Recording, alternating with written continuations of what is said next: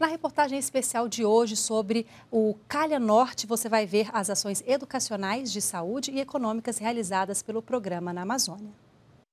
A uma hora de voo do município de São Gabriel da Cachoeira, no estado do Amazonas, está a comunidade indígena Querari. Para chegar até essa parte isolada do Brasil, já na fronteira com a Colômbia, só de avião ou dois dias de barco pelo rio Uaupés. Fomos recebidos em Cubeu, língua dos moradores nativos da região.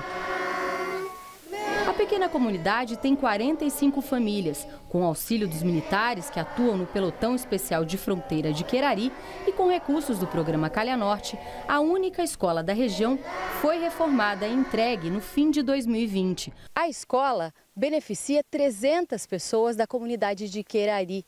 São 117 crianças matriculadas que podem estudar até o ensino médio. A comunidade não tem energia e esta é agora a principal reivindicação aos membros do programa Calha Norte. Estamos esperando que aconteça em breve. Ao lado da escola e das casas da comunidade está o pelotão de fronteira de Querari.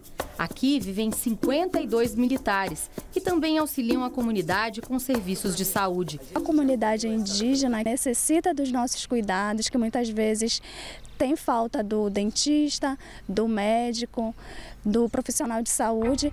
Da fronteira com a Colômbia, seguimos para o município de Benjamin Constant, também no Amazonas. Agora estamos na tríplice fronteira que separa o Brasil, Colômbia e Peru.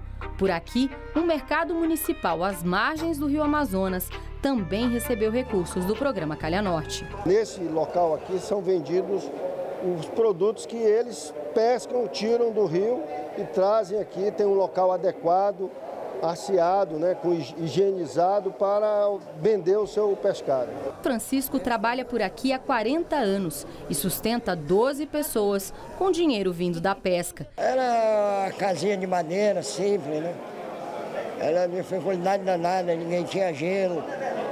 Agora não, facilitou 100%. Temos uma fábrica de gelo aí, mercado bom aqui.